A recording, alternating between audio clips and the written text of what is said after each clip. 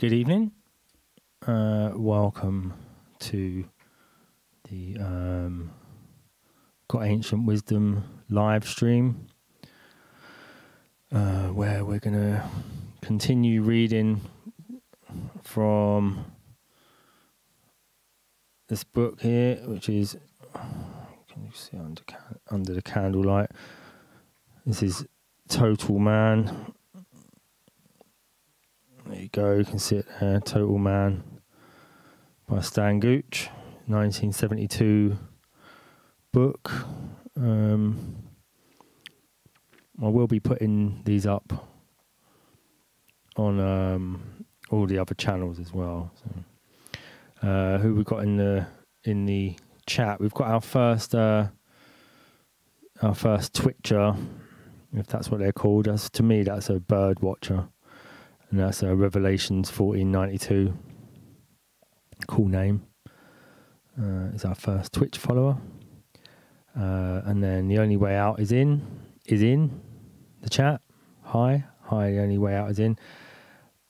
First of all, before I start, this is my new bookmark. So this is my old. This is my old bookmark. Okay, plastic bag and this is the new bookmark.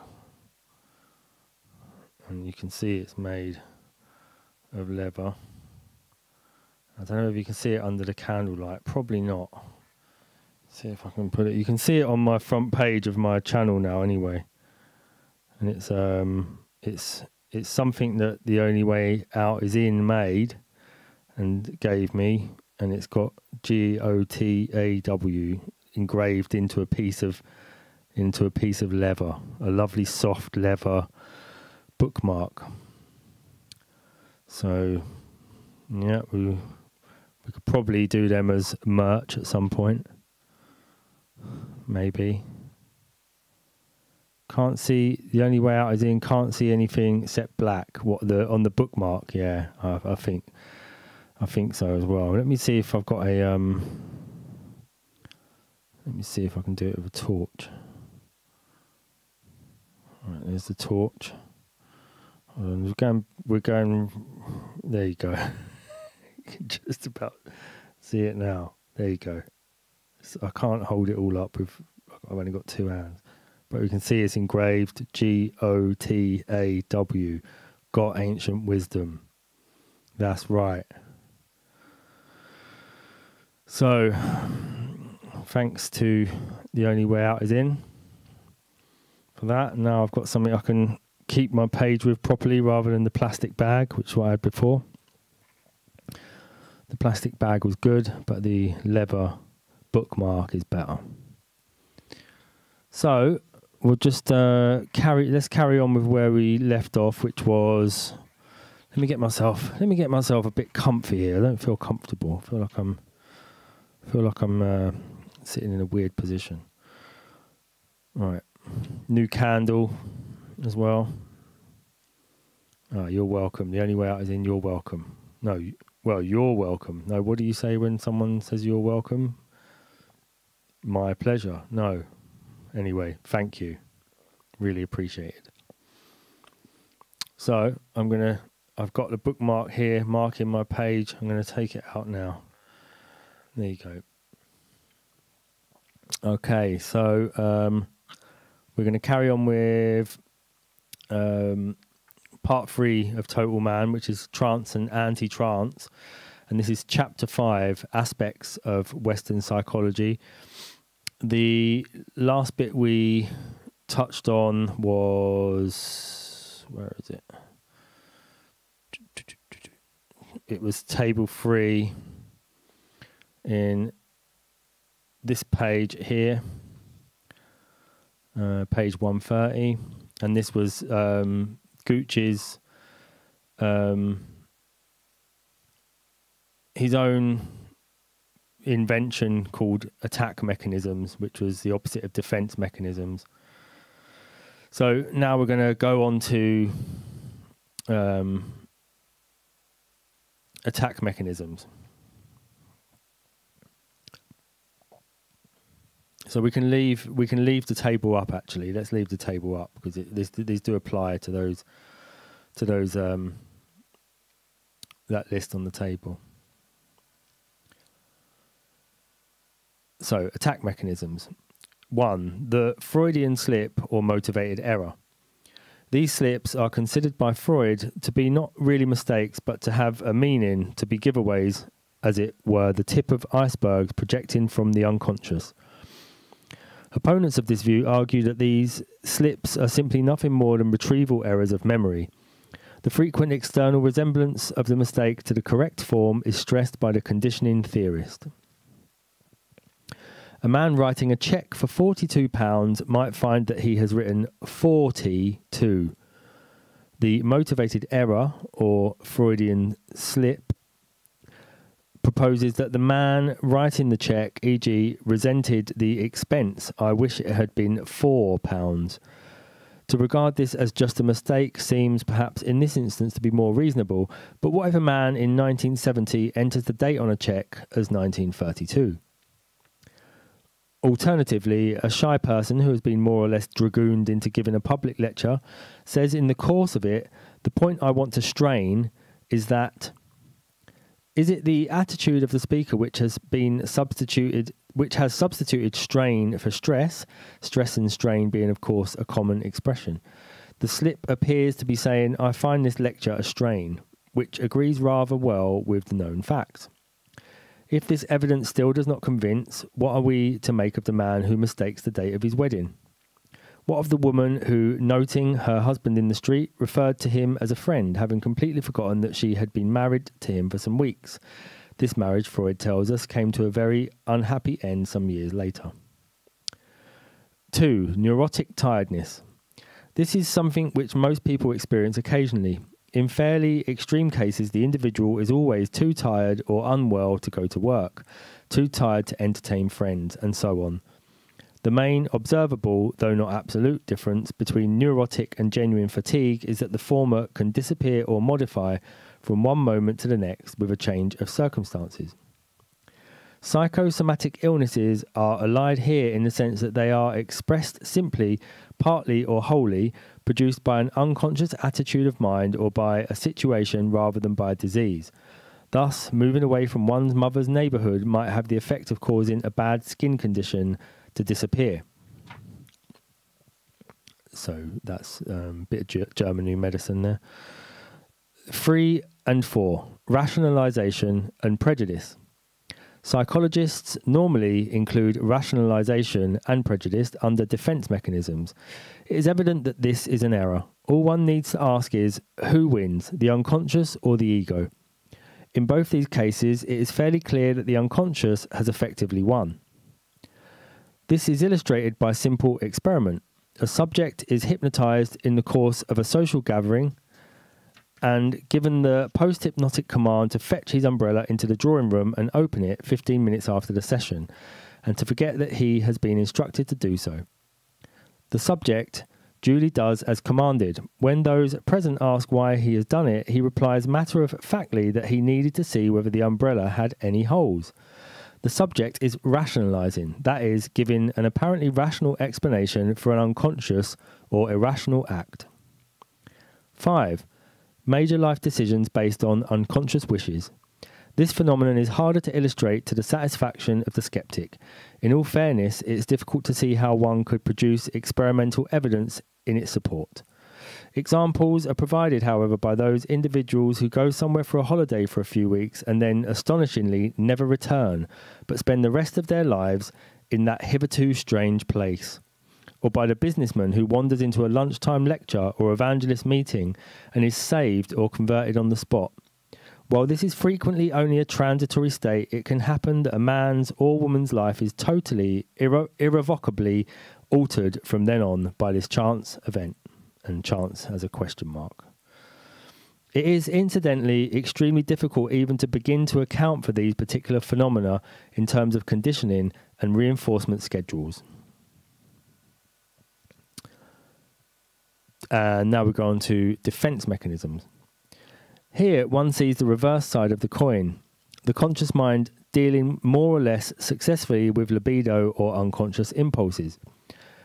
So we've got six, repression and denial. According to Freudian theory, any mental content is consciousness which is painful or otherwise disturbing to the conscious mind or ego may be repressed, that is, pushed down into the unconscious. The memory of this act of repression is also repressed at the same time, so that the whole incident from start to finish is forgotten. This act produces at least a temporary solution to the difficulty or conflict, and one that is satisfactory to consciousness. That, however, is not the end of the matter. The repressed content is said to gather energy to itself and attempts to re enter consciousness. As it grows more powerful, more and more energy is expended by the ego in maintaining the state of repression, hence, possibly neurotic tiredness. The more powerful the repressed content becomes, the more it can counter influence conscious behavior by such means as Freudian errors. Denial is allied but is perhaps more the refusal to consider that something external is so. A landowner might deny that his tenants were suffering when it was obvious to an outsider that there was actually very real suffering. Denial, perhaps, is the blocking of disturbing ideas seeking to enter awareness through conscious perception. See that we see that word used a lot, denial, by some people deniers they, they they label people deniers. So they're, what they're doing when they label someone a denier is they're they're attempting to um, they're attempting to suggest that there's something there's a, there's a, some sort of mental illness in in the way that that person thinks. So number 7 projection. Appropriately placed amongst the defense mechanisms this is a warding off a defense against system B activity in Freud's terms, it is an attempted, attempted flight from the demands of the unconscious. The existence of the mechanism is readily demonstrated. A large number of people who know each other, say students following the same course at a given college, are asked to rate each other and themselves for meanness with money. The individuals voted by the large majority as possessing this trait not only attribute a significantly high level of meanness to all other individuals, but a low level to themselves. That is to say, the person agreed by the common consent of others to be mean does not only not see it himself see himself as mean, but instead, by projection, finds this trait in everybody around him. 8. Reaction formation. This, as its name implies, is yet another form of denial of an inner state, by means this time of the outward display of the reverse of the internal state. Thus, an outward bully may be an internal coward, a person noted for giving his opinion loudly and at length may secretly have strong feelings of inadequacy. 9. Intellectualization. The discussion of various personal or human elements, pain, loneliness, love, in dry, scientific, objective terms or within academic, legal, or business frameworks, is a way of diffusing potential emotional explosives. It is a common device for reducing one's emotional involvement, feelings of guilt or whatever, and of denying the valid emotional rights of others. As we shall see in due course, this mechanism is rife in Western culture, as are in fact all the defense mechanisms discussed here. The matter was already touched on in Chapter 3 in connection with the Latinization of public language. An example of this all too powerful weapon in the hands of the intellect is that of naming the unnameable, thereby trapping or destroying it. The process is described in many fairy tales such as Rumpelstiltskin and Ali Baba. In early Judaism, conversely, the name of God was not to be spoken or written down. We've seen, uh, seen that coming back again, G-O-D or G-D. Discovering the name, the magic phrase, the open sesame both tames the phenomenon and places the power within conscious grasp. Unfortunately, unfortunately, these contents frequently arrive there dead, so fairy gold, examined in the light of day, becomes dross. A yet worse form is the replacement of a name by a number. There we go.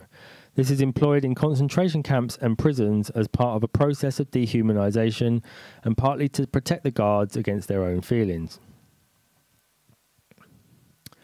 10. Displacement. Emotion deriving from or appropriate to a particular situation felt for some reason as too threatening may be displaced to another less threatening one. A youngster feeling aggression against his parents may go and instead hit his smaller brother or sister or his pet dog. Experimentally, a rat can be induced to attack, say, a rubber doll in preference to another bigger and more dangerous rat. This necessarily all too brief review of unfree behaviour was undertaken partly to emphasise the existence of two basically opposed relationships with the unconscious. These are, to repeat them, an involvement with and a defence against or flight from. An extension of this basic position, incidentally, could constitute a, def- a, definition of mental illness. Both too much involvement and too strenuous a, a defence constitute a hazard to mental health an imbalance of the psychic economy leading ultimately to serious abnormality. Involvement with may, however, be on a willing or unwilling basis, and in the latter case, it is therefore better described as domination by. Willing involvement of various kinds with System B is displayed by the enthusiastically superstitious, the conventionally religious, the uncritical believer in psychoanalysis, many pacifists, many do gooders, and hordes of others. Unwilling or only partially willing involvement is displayed, for instance, by the dominated and ineffectually resentful husband, the unmarried son or daughter unable to escape from the mother, the severe neurotic, nevertheless prepared to undergo a long and painful psychoanalysis in order to become free. Conversely, defense against, so clearly displayed in psychosis, as we shall see later, differs from unwilling involvement with, in the sense that the defense against situation, though demonstrably unfree, has been established in some sense on the individual's own terms as opposed to someone else's. He has, so to speak, chosen his own poison. He cannot be said to be free of the influence of his unconscious, but he is fighting a grim and at least partially successful rearguard action. This individual is, as it were, prepared to cut away the rigging in order to remain afloat, or risk bursting the sails in order to continue to run before the wind. Or we could say that he has retreated to his castle, within which, despite the barbarian hordes without, he enjoys a measure of security and exercises a measure of self government and autonomy. It is only that he has cut himself from the surrounding natural countryside, that is, from warm, affectional, and spontaneous relationships, from the experience of meaning as opposed to significance, which are his birthright. His sole remaining con- Contact with it must then take the form of brief armed forays, protecting he, protected by his intelligent contempt and his sterilized scalpels under the banner of his university degree. There's a this, basically a description of uh, of uh, people in the West at the time, and some people now. I guess the, the sort of like the elites have taken that whole that whole uh, thing to an extreme. Uh, these analogies are possibly over emotive or perhaps not emotive enough. A fuller discussion of the further ramifications of the defense against position is best kept, however, for the detailed considera- consideration of psychosis. Before closing the discussion of Freudian psychoanalysis, a word must be said of the mechanics of dreaming, since this is such an important part of Freud's theory. The dream, in Freud's view, is essentially a fantasy wish fulfillment expressed in fantasy or symbolic form. And this holds true, he maintains, also for unpleasant, even horrifying dreams. Here, the wish is disguised. The dream is also, in a sense, a message from the unconscious to consciousness about the general state of the nation, and in particular, the need of the libido. Most of the requirements of the libido are unacceptable to the ego, however, especially in latter life after many years of social training. It is for this reason, according to Freud, that the libido dresses up and disguises the dream. What we recall on waking is the disguised, so called manifest dream. Dream analysis, associative and symbolic interpretation, breaks the code and reveals the true, so called latent dream, the dream's real meaning.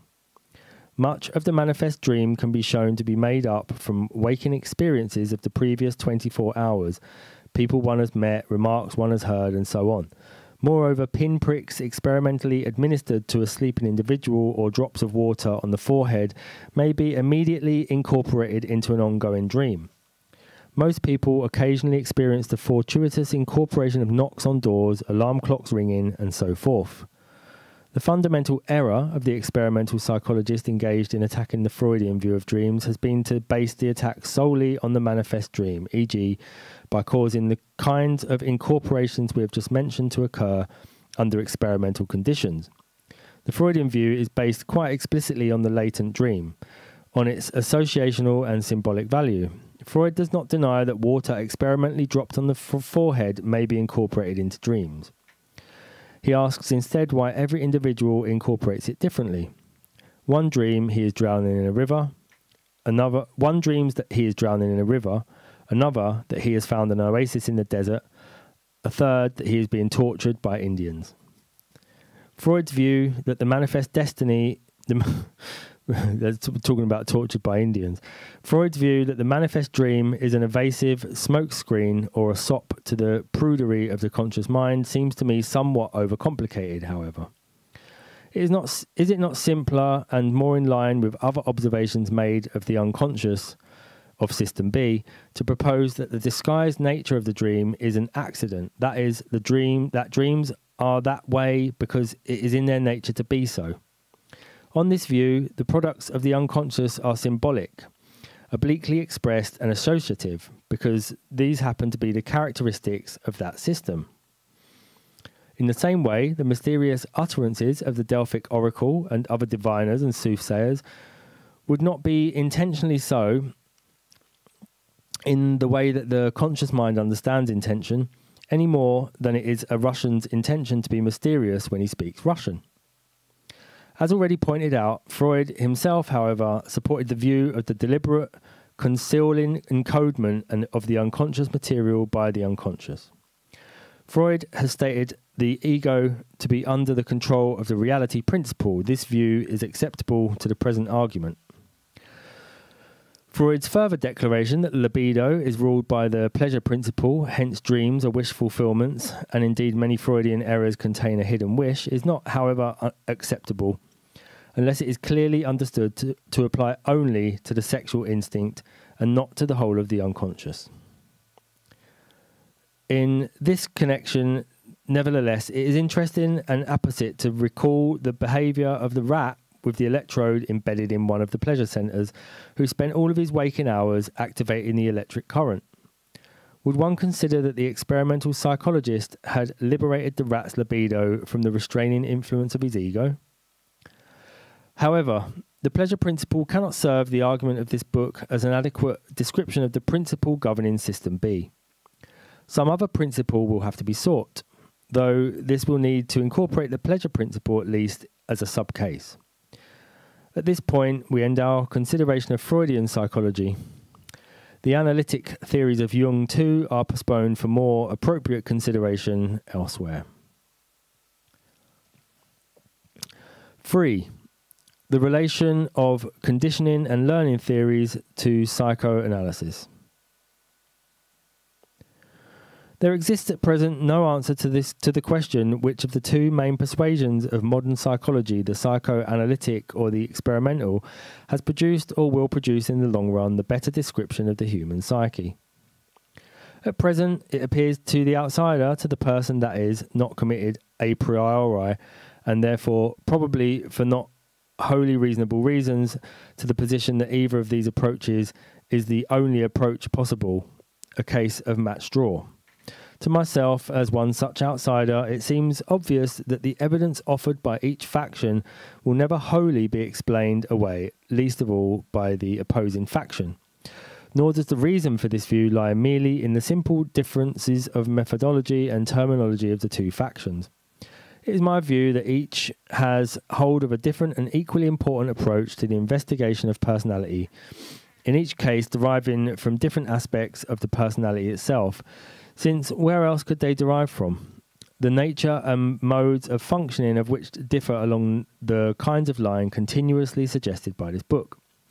The very existence of the two major persuasions of psychology under discussion itself gives support to this view. However, avoiding for the moment the ultimate confrontation with this central proposal, let it, let it instead be asked whether there exists an area of behaviour where the two approaches in question have met, as it were, head on, and where the outcome appears to be a partial victory for both. There exists such an area. It is that concerned it is that concerned with the identification of stimuli and the processes of stimulus association. The stimuli being, in this case, words, presented briefly under experimental conditions such that both straightforward, i.e., retrieval errors, and Freudian errors can occur. Regarding association, experimental psychology has unfortunately demonstrated its usual penchant for gathering large numbers of facts without having much idea what to do with them once gathered. Table 4 provides an example of this. Let's find table 4. One second, everybody. Uh, is that table 4? I, I think that's table 4, yeah. Table 4 provides an example of this. The data in question was gathered by a number of psychologists at the beginning of the century.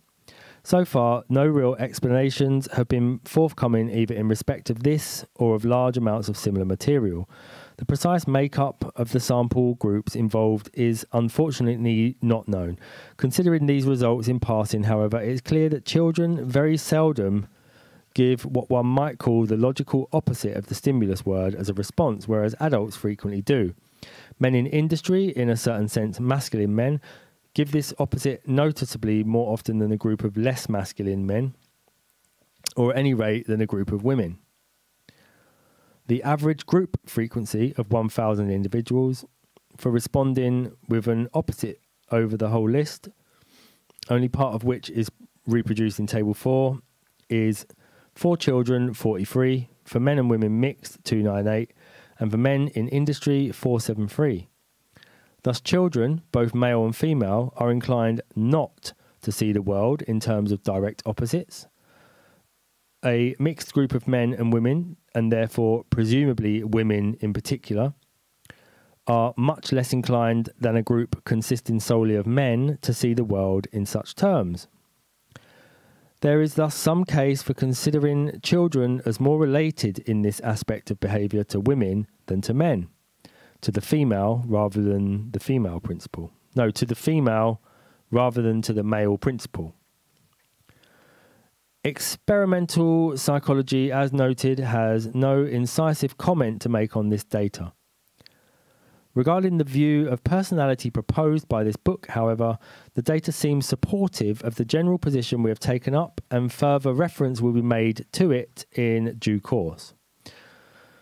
Reverting to the proposed discussion of stimulus recognition and stimulus association, psychoanalysis has always maintained that taboo and similar words, i.e., swearing, colloquial names of parts of the body, and so on, are avoided because of their relationship to repressed and/or forbidden mental content and wishes.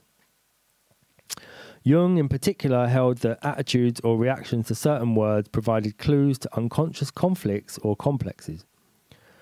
One of the prime difficulties which has always faced the psychoanalyst is that of gaining access to the unconscious. Dreams provide one avenue, free association, as it is termed, another. The latter, in favour of which Freud abandoned hypnosis, consists of persuading a patient to say whatever comes into his or her head, however irrelevant, irreverent, or inconsequential it may seem, in connection with topics suggested by the analyst. Jung narrowed this technique down to the practice of giving single words to which the patient had to make a single word response, as in the data of Table 4. So, Table 4 uh, associ- associate, associational response made to a verbal stimulus by three groups. Um, strange three groups, really, if you think about it. A thousand children, a thousand men and women, and a thousand men in industry. So, yeah, I guess that's as Stan put it, it's um, masculine men. Yeah, that's an it's an interesting one that they would do that. I mean, um, I'm just trying to get uh, one sec. I'm just trying to get the uh, window up for you for uh, YouTube. Oh, that's it. Got it up.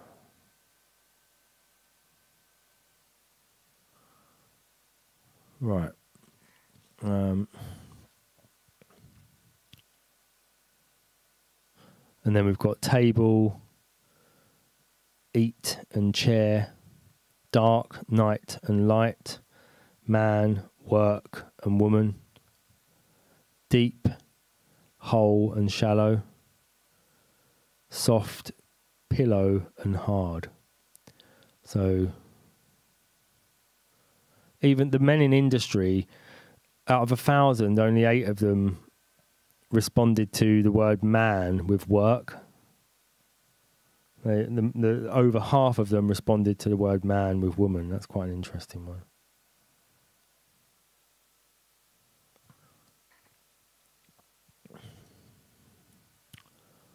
Uh, and then soft. they, uh, 548 out of a thousand responded with hard. That's quite interesting as well. Hard men. Okay, where were we?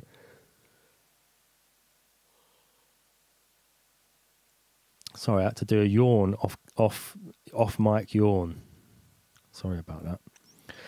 While all the features of the responses which Jung considered significant need not concern us here, some of these are an unusually long pause in making an association, blushing, speaking softly or mumbling, and other displays of embarrassment, a misheard or misunderstanding of the stimulus word, failure to recall the original response in a second run through. When any of these indicators are present, they are taken as evidence of an emotional disturbance or conflict. You could most of them you can associate. You could most of them you could use in every in every conversation you have, or with a politician or anything like that. So uh, a long pause, um, speaking softly or mumbling. Uh, uh, what is the other one? Um, a mishearing or misunderstanding of the stimulus word. So you see that a lot with politicians where they say, uh, "I'm sorry, what was that?" And that gives them time to obviously gives them time to a bit of think, to to think for a bit, but it also indicates that there's probably some sort of conflict there.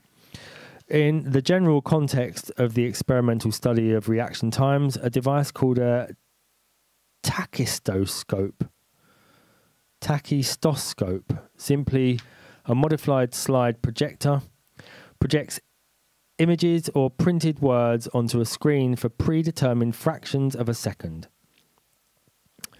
There is an exposure time, which varies from individual to individual, termed a threshold, below which the stimulus cannot be identified by the subject. Among the many factors which can raise or lower a subject's threshold, one is the nature of the word itself. That is to say, some words are identified and not others at one and the same exposure time. With the exposure time set just above the subject's previously determined threshold, such tachistoscopic projection demonstrates clearly that many individuals fail to see taboo words like fuck, etc., and anxiety arousing words, e.g., vagina, menstrual, while identifying ones like house, gramophone, and so forth but the changes in skin conductivity registered when these other words appear show that they have indeed been recognized at some level. There is no suggestion, however, that the subject is consciously lying. Critics of such demonstrations argue that taboo words were far less often seen and heard than most words. That is, in effect, they have undergone a very different, less intensive schedule of reinforcement during the subject's lifetime. Experiment show, showed that neutral words which occurred with roughly the same frequency as the impolite words in the spoken and written media, such as diaton, prole, etc., earned the same lack of recognition when given the same exposure time as taboo words. In association tests, these rare words also produced delayed responses, forms of uneasiness, etc. There are a number of points here. First, it is likely that many of these unfamiliar words arouse similar reactions to taboo words because the person suspects that that is what they are. If this seems far fetched, let us remember the use of such words in comedy shows and farce precisely to obtain this very effect. She asked to see my testimonials, and so on. Possibly the subject is also put out by his failure to understand the word, and so on. Yeah, I'd say that.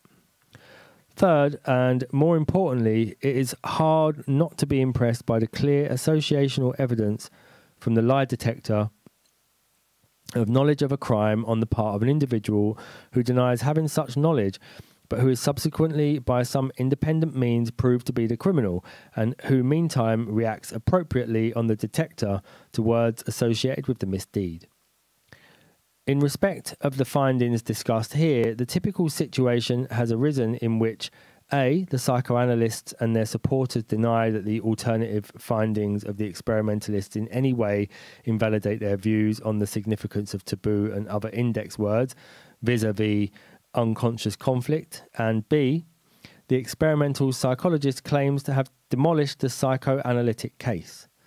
The overall picture is naturally rather more complex and confused than this single review suggests it's perfectly possible to retain a single minded psychoanalytic or a single minded experimental view of the results in word recognition and word association without losing the respect of one's colleagues, depending, of course, on who these colleagues are.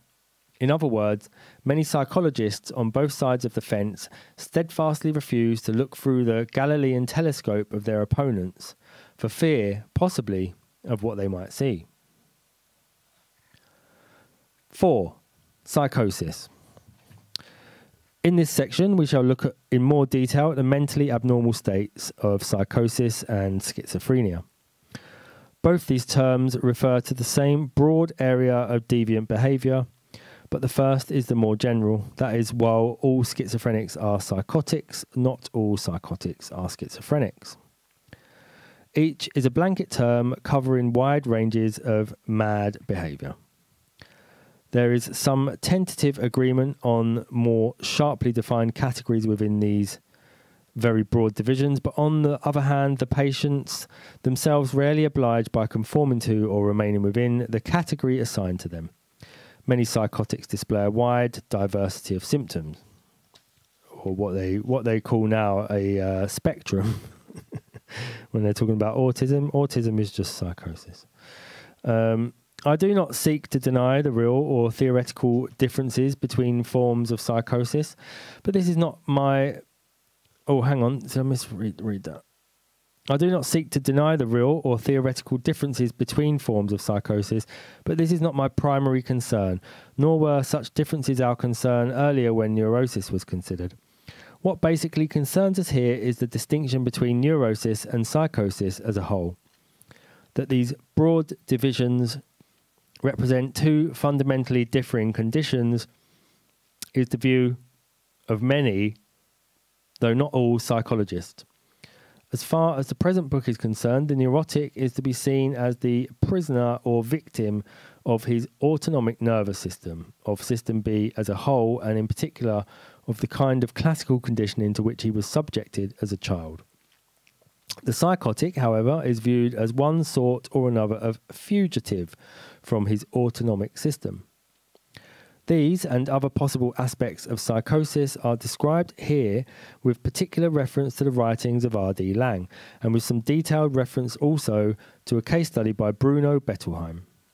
On first encountering this material, the general reader may be surprised to hear mad patients talked about as if they were in some sense sane and exercising in their astonishing world, at least on occasion, a kind of volition. And it remains true that the views expressed by the two writers named are not the views of every psychiatrist, particularly those of the older schools. The views of Laing and Bettelheim are, nevertheless, among the most advanced of our times and currently gaining wide acceptance. Before proceeding, one point of method adopted here and maintained now throughout subsequent chapters requires clarification. In the literature on personality and mental health, two terms occur frequently, which refer to the overriding unity or to the centrally integrative forces of the personality. These terms are ego and self. There is unfortunately no generally recognized or consistent difference of usage respecting them. Even where one author is himself consistent, this does not carry over to other authors. The convention observed from now on is as follows The term ego is used to refer to the experience of oneself that is associated with waking consciousness and the conscious personality. The term self we shall avoid defining too closely at this stage, but fairly obviously it will have links with and related to the unconscious side of the mind. Where necessary, the usage of other authors will be amended in the sense that the appropriate translation will be inserted in square brackets after the term used by the other author. This is not, of course, de- designed to alter what that writer is saying, but to enable an orientation to be maintained to the present book. Laing's basic premise is that psychosis is the pathological form, the exaggerated version of the condition experienced by most human beings occasionally, difficult to describe, but which gives the feeling that one has become somehow detached from one's body or from external events, for instance, in the course of serious accidents or during some other great stress or shock, namely dissociation. He suggests, amongst other things, that some individuals are more predisposed to this experience than others, undergoing it more often and more strongly. In Laing's own words, quite apart from these ordinary people who feel in moments of great stress partially dissociated from their bodies, there are individuals who do not go through life absorbed in their bodies, but rather find themselves to be, as they have always been, somewhat detached from their bodies. It is with certain of the consequences of this basic way in which one's own being can be become organized within itself that this book will be principally concerned. This split will be seen as an attempt to deal with a basic underlying insecurity. In some cases, it may be a means of effectively living with it or even an attempt to transcend it. But it is also liable to perpetuate the anxieties it is in some measure a defense against, and it may provide the starting position for a line of development that ends in psychosis. This last possibility is always present if the individual begins to identify himself too exclusively with that part of him which feels unembodied. The process of becoming more disembodied is then an attempted solution to an unspecified problem or problems, problems which, by definition, involve the body or some aspect of it, since it is from the body that flight is taken. As one sees from the next extract body turns out to mean really feelings. The quotations are taken from the case study of Bruno Bettelheim, of a nine year old schizophrenic notable for believing himself to be a machine, which depended for its functioning on a number of other machines. Joey, uh, oh, so this is uh, Bruno Bettelheim, a quote from his book. I'm not sure whether he's American or something, or probably what you think is. Joey was convinced that machines were better than people. Once, when he bumped into one of the pipes in our jungle gym, he kicked it so violently that his teacher had to restrain him to keep him from injuring himself. When she explained that the pipe was much harder than his foot, Joey replied, That proves it. Machines are better than the body. They don't break, they're much harder and stronger. Joey had created these machines to run his body and mind because it was too painful to be human. Reared by his parents in an utterly impersonal manner, he denied his own emotions because they were unbearably painful. He wanted to be rid of his unbearable humanity, to become completely automatic. Needless to say, this solution to the problem, the divorce of mind and body, or feeling and body, does not turn out as planned, in Laing's words.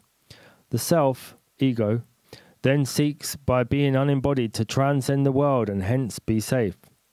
But a self, ego, is liable to develop, which feels it is outside all experience and activity. It becomes a vacuum. Everything is there, outside, nothing is here, inside. Moreover, the central dread of all that is there, of being overwhelmed, is potentiated, rather than mitigated, by the need to keep the world at bay. This, in fact, defines the essential dilemma. The self, ego, wishes to be wedded to and embedded in the body. yet is constantly afraid to lodge in the body for fear of their being subject to attacks and dangers from which it cannot escape.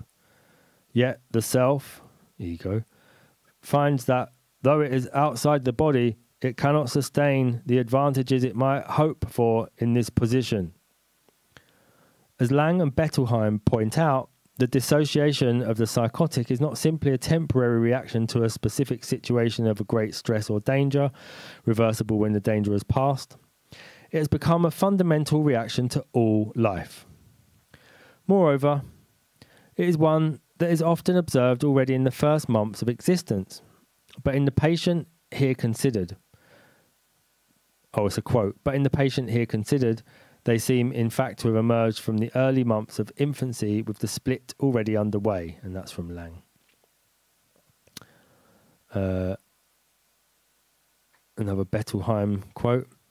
How had Joe become a human machine? From intensive interviews with his parents, we learned that the process had begun even before birth.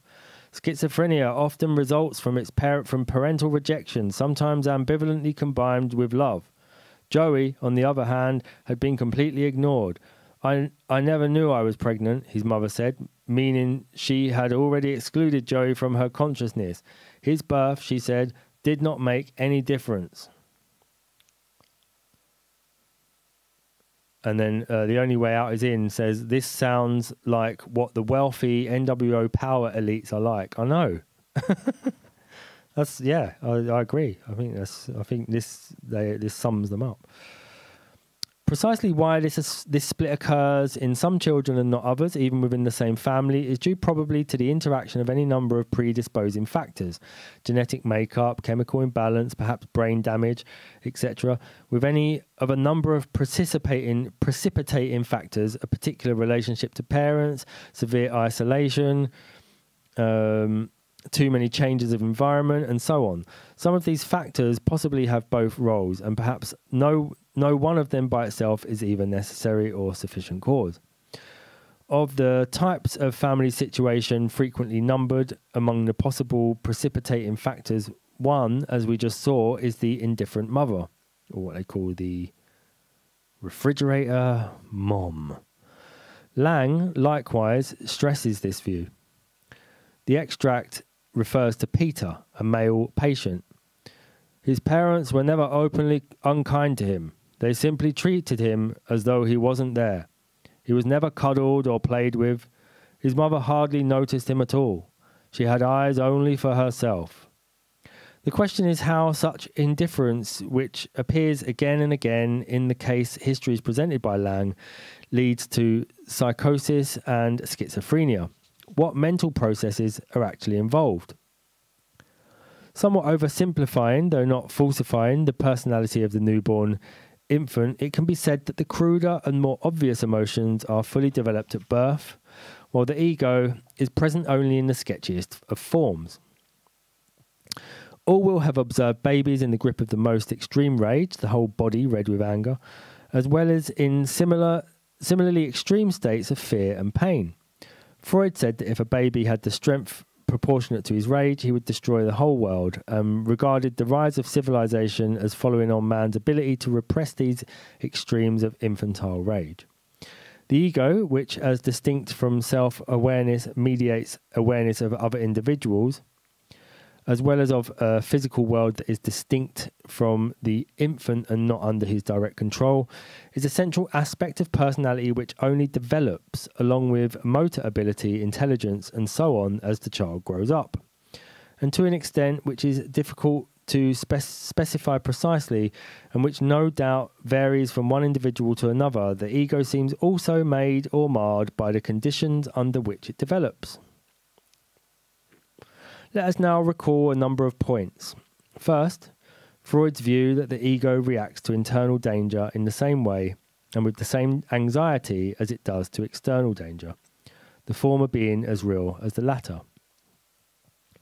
Let us recall too Harlow's demonstration that a baby monkey will face danger, e.g., the drumming teddy bear, bravely, and indeed will go forward to explore it, providing that it can touch the wire and cloth mother and be reassured by her physical presence. When the mother is absent from the compartment, the infant monkey crouches frozen in abject terror.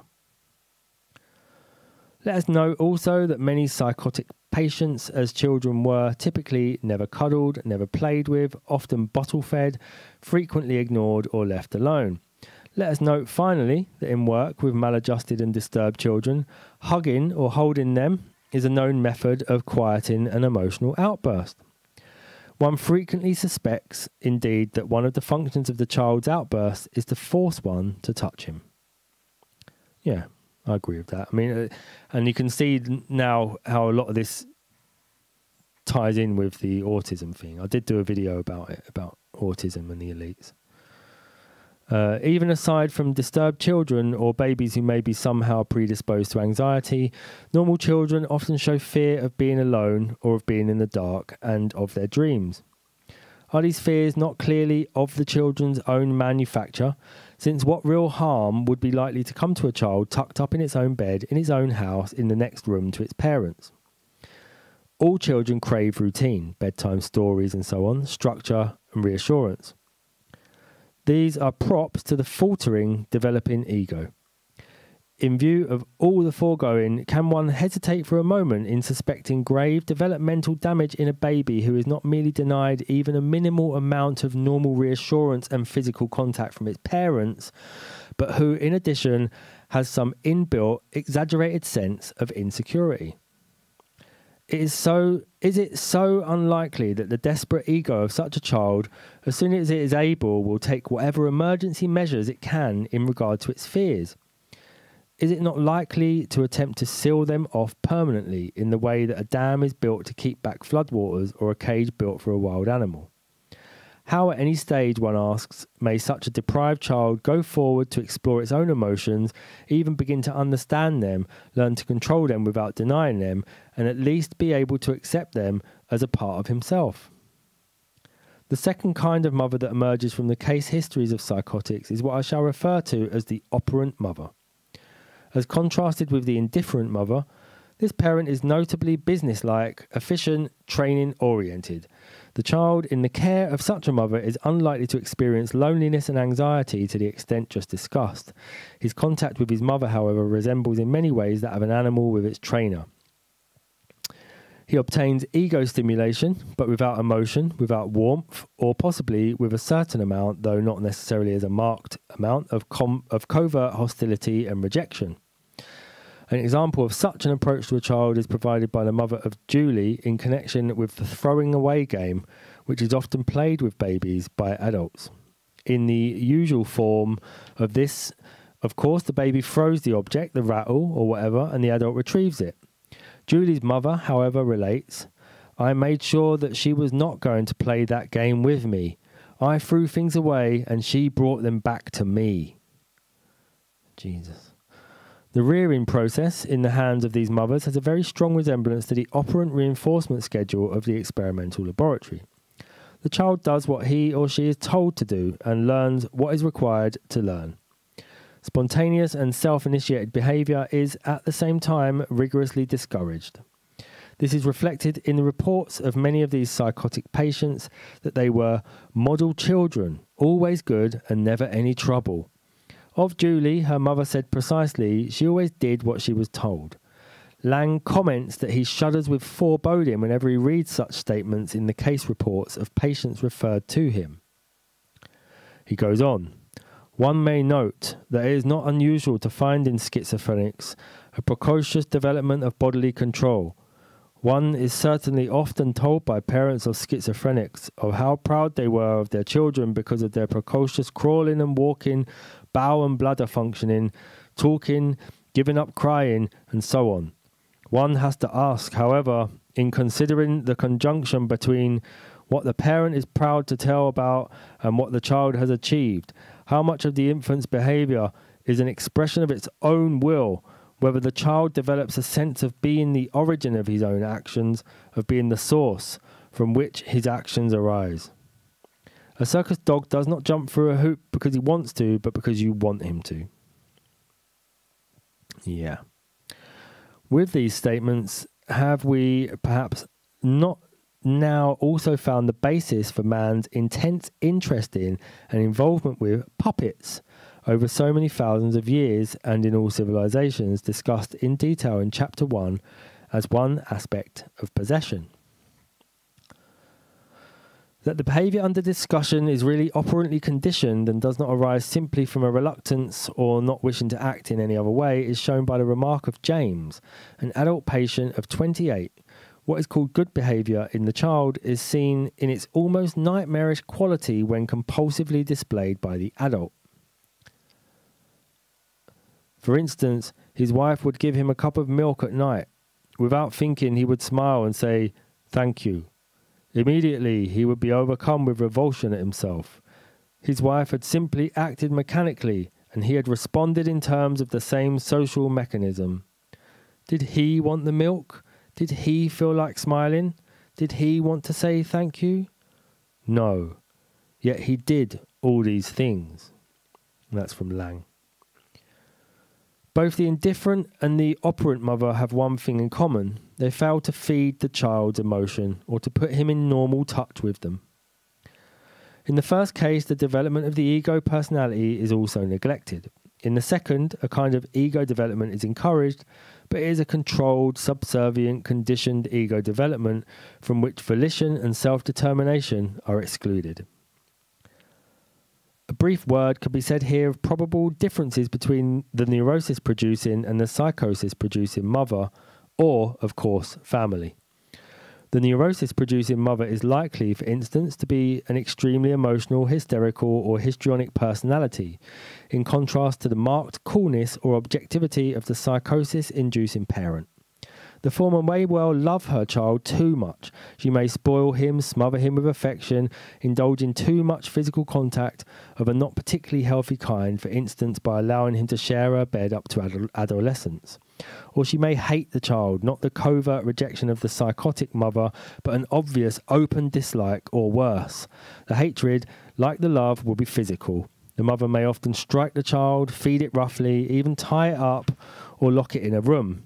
Unlike the indifferent mother, this parent, from her side, has a clear neurotic involvement with the child. In all the cases cited, the child, the child of the neurosis inducing mother enjoys two great advantages. That's enjoys in quotes. He observes emotion in someone else, and he has his own emotions stimulated.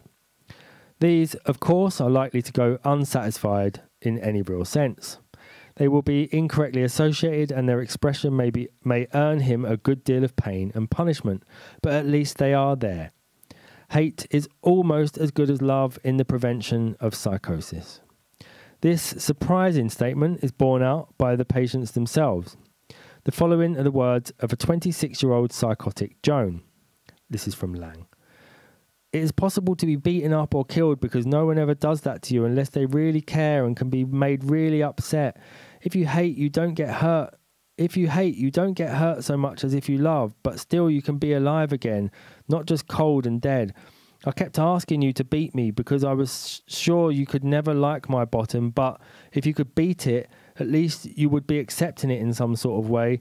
Then I could accept it and make it part of me. The child, who is later to become psychotic, it seems, has erected temporary or permanent barriers of one kind or another against his feelings, also represented by the body and body functions, against the unconscious. These, however, prove to be inadequate at times of great emotional or other stress and in the long run altogether. Interestingly, we use the term breakdown for this kind time of failure. In a sense, the pre psychotic walks in fear of his own and other people's feelings. This suggests another reason why this child cannot risk being disobedient. The consequences are too unpredictable. Unlike the normally, abnormally, peaceable and diligent pre psychotic, the neurotic child is the source of unending inconvenience to those around him, presenting a continuous pageant of bedwetting, soiling, crying, oversleeping, insomnia, constipation, stealing, tantrums, aggression, timidity, jealousy, poor health, loss of appetite, overeating, or whatever. What is the evidence apart from the strong theoretical position we've established that the future psychotic is terrified of his feelings and emotions? The confirmation emerges in the course of the psycho- psychosis and during its cure. Uh, let me just see how much far we've got to go. I'll, I'll probably finish on these quotes then. Um, so this is another quote from Bettelheim. Uh, going to the toilet, like everything else in Joey's life, was surrounded by elaborate preventions. We had to accompany him. He could only squat, not sit on the toilet seat. He had to touch the walls with one hand, in which he also clutched frantically the vacuum tubes which powered his elimination.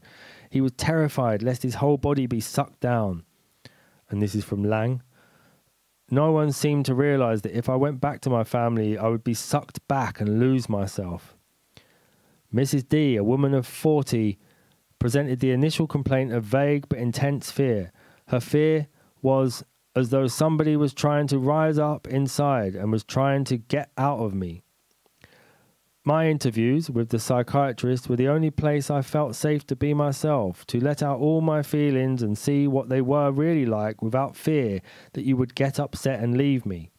I needed you to be a great rock that I could push and push and still you would never roll away and leave me. In the following extract concerning Joey when he was getting better, we understand why going to the toilet was for him such a terrifying experience. It will be clear from this and other examples in the section that many reports of possession. Uh, uh, oh no, hang on. In the following extract concerning Joey, when he was getting better, we understand why going to the toilet was for him such a terrifying experience.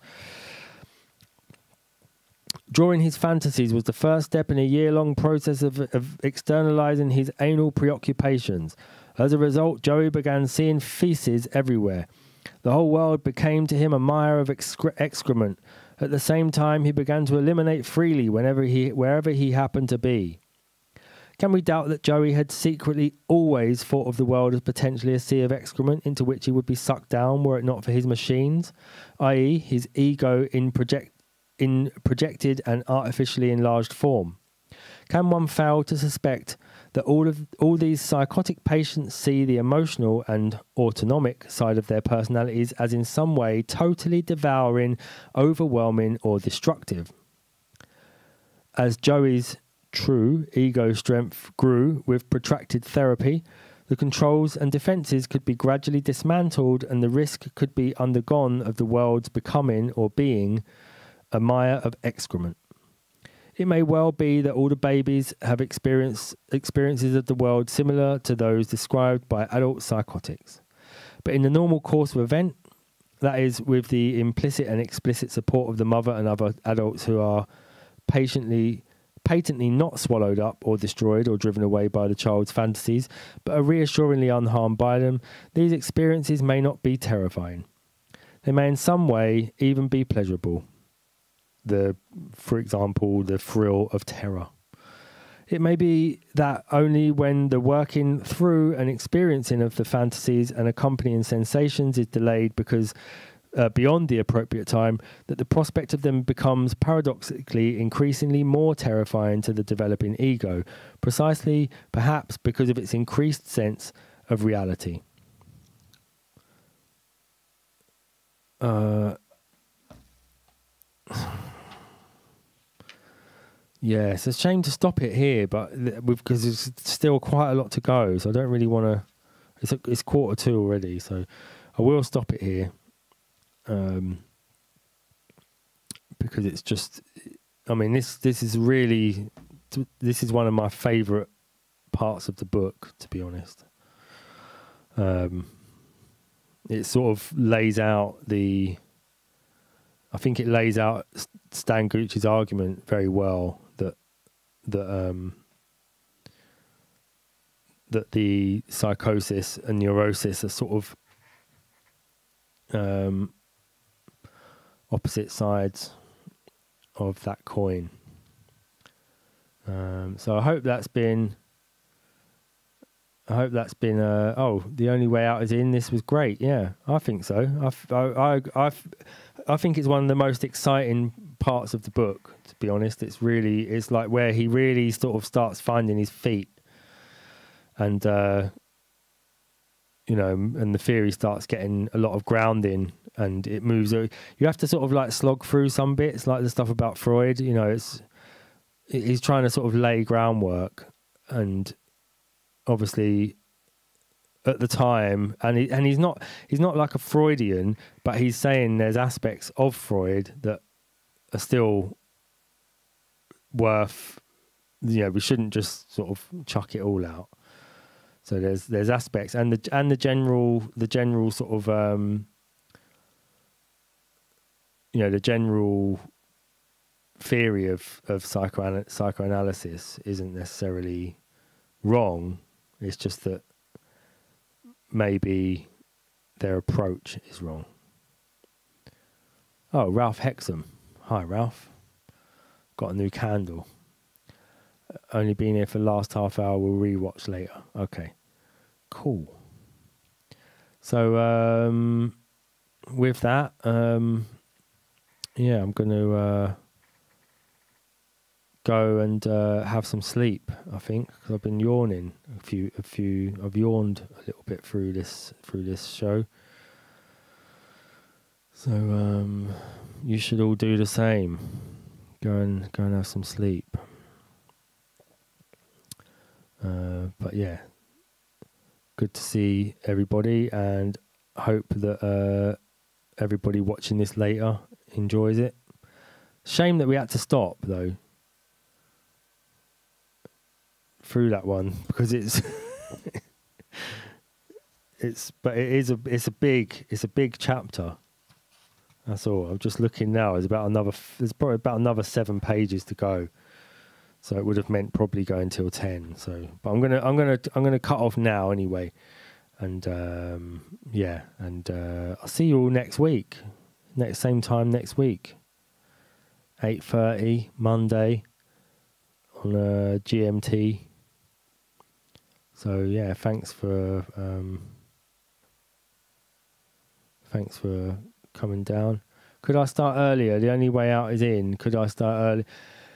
It's. I mean, it's possible. I could start eight o'clock.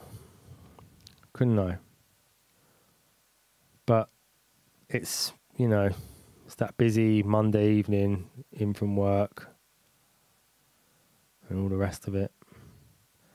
Uh, have to have dinner, gym. It's loads. it's loads of things to do on a Monday. So yeah, I'll, I'll try. I'll try and start eight o'clock. But uh, yeah, okay. I'll try and I'll try and do that. It will mean it will mean changing a few bits of text, letting letting the three other people know who tune in. Eight thirty on the dot. Yeah, very funny. Why don't people ever do things in fifteens, like eight fifteen, or like or like five past? Like I see you all at five past eight, or 10 to 10 past 8 it's always a half hours or hours. I don't know why. It's a bit, it's a bit uh, it is a bit autistic in itself. So uh 8.30 on the dot maybe. I, I mean i could do i could what i could do is i could start the stream at 8 o'clock rather than 8.45 yeah very funny. Yeah. Well but ralph hexam would have only caught 15 minutes of it if I'd have done it at, exactly the right time. Anyway, anyway, I'll uh, because we're, we're only delaying the end now. Fun fact: Bristol used to be 15 minutes ahead of GMT. I never, I never knew that, Ralph. that is a fun fact. So maybe we'll do it. Um, what and what would that have been called then? B BMT, Bristol Mean Time. Anyway. Listen, I'll see you all next week. Um yeah, and we'll continue. I'll probably I'll probably go back over some of the stuff and then start reading again because it's just so interesting. All right. Good to see everyone and uh, bye bye.